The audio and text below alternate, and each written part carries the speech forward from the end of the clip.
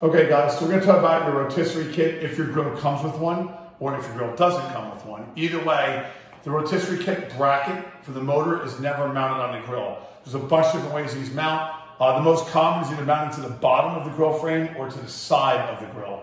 If you look over here, I have two screws right here. They're factory screws.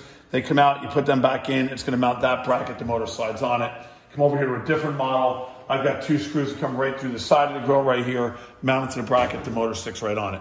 It's all relatively simple. Uh, they're reversible on either sides of the grill, so it depends on where your electrical outlet may or may not be, depends if you want the motor on the right or the left.